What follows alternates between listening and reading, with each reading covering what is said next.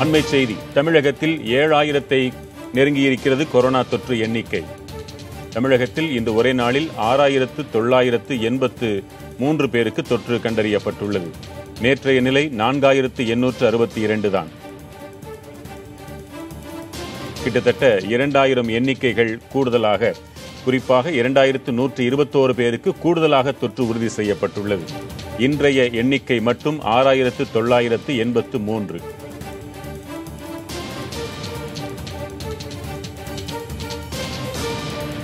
கடந்த ஒரு வாரத்திற்கு முன்பு வரை ஆயிரத்திற்குள் கட்டுக்குள் இருந்த கொரோனா தொற்று எண்ணிக்கை அதன் பிறகு தொடர்ந்து நான்கு நாட்களுக்கு இரண்டாயிரத்திற்கும் கீழாக இருந்தது. கடந்த மூன்று நாட்களில் மட்டும் இரண்டாயிரத்து எழுநூற்று முப்பத்தொன்று நான்காயிரத்து எண்ணூற்று அறுபத்தி இரண்டு இன்று ஆறாயிரத்து தொள்ளாயிரத்து எண்பத்து மூன்று என ஆயிரங்களில் உயர்ந்து கொண்டே வருகிறது. இன்று நலம் பெற்றோர் எண்ணிக்கை எழுநூற்று இருபத்தோரு பேர். உயிரிழப்பு பதினொன்று. நேற்றை காட்டிலும் இருவர் கூடுதல். சிகிச்சையில் இருப்போர் எண்ணிக்கை இருபத்தி இரண்டாயிரத்து எண்ணூற்று இருபத்தி எட்டு. இரண்டு நாட்களுக்கு முன் சிகிச்சையில் இருந்தவர்கள் பத்தாயிரம் பேர் இன்றைக்கு இருபத்தி இரண்டாயிரத்து எண்ணூற்று இருபத்தி எட்டு பேர் சிகிச்சையில் இருக்கின்றனர். மாவட்ட வாரியாக பார்க்கிறோம். கோவையில் அதிக தொற்று எண்ணிக்கையை காண்கிறோம். ஆயிரத்து பதினான்கு. ஒட்டுமொத்தமாக இருக்கின்ற எண்ணிக்கையில் சரிவாதி எண்ணிக்கையை சென்னை தான் பெற்றுக் கொண்டிருக்கிறது கடந்த பத்து நாள் நிலவரத்தை பார்த்துக் கொண்டிருக்கிறோம். ஜனவரி நான்கிலிருந்து வெகுவாக உயர்வதை படம் காட்டுகிறது.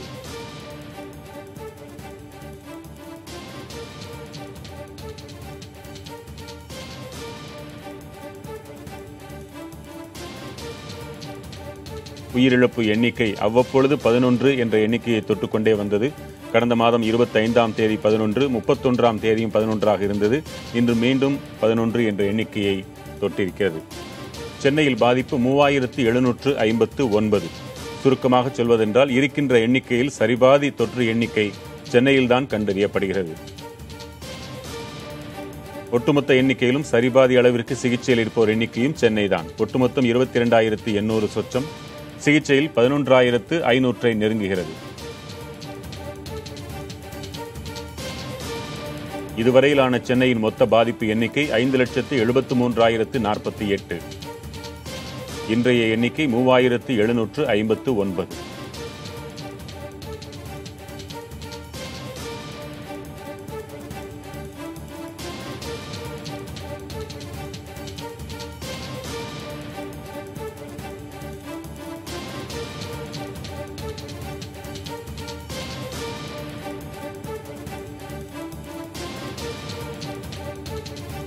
நவம்பர் இரண்டாம் நாள் இருபது இருபதுக்கும் மேற்பட்ட எண்ணிக்கை உயிரிழப்பை நாம் கண்டு கொண்டிருந்தோம் அதன் பிறகு முழுவதுமாக இருபதுக்கும் கீழாகவே இருந்து வந்தது.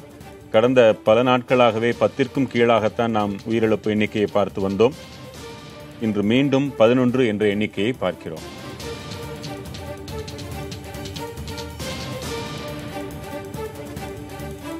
சென்னையை ஒட்டியுள்ள செங்கல்பட்டு மாவட்டத்தின் மொத்த பாதிப்பு எண்ணிக்கை ஒரு லட்சத்து எழுபத்தி ஏழாயிரத்து அறுநூற்று எண்பத்து ஒன்பது இன்றைய தொற்று எண்ணிக்கை அங்கு எண்ணூற்று பதினாறு.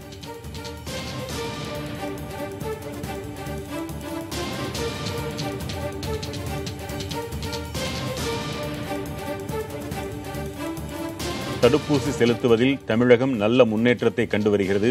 விரைவில் நூறு விழுக்காட்டை அது எட்டிவிடும் என மாநில சுகாதாரத்துறை நம்புகிறது. பதினைந்திலிருந்து பதினெட்டு வயதிற்குட்பட்டோருக்கான தடுப்பூசி செலுத்துதலிலும் சாதனை அளவை நாம் எட்டியிருக்கிறோம்.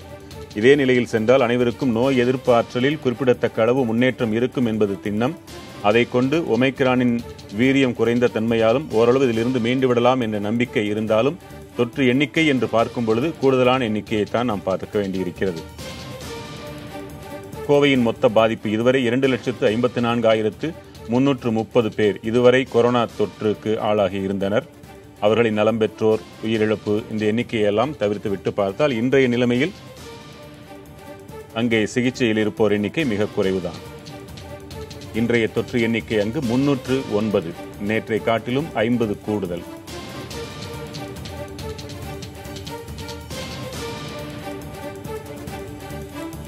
மீண்டும் ஒருமுறை தமிழகத்தின் மொத்த நிலவரத்தை பார்க்கிறோம்.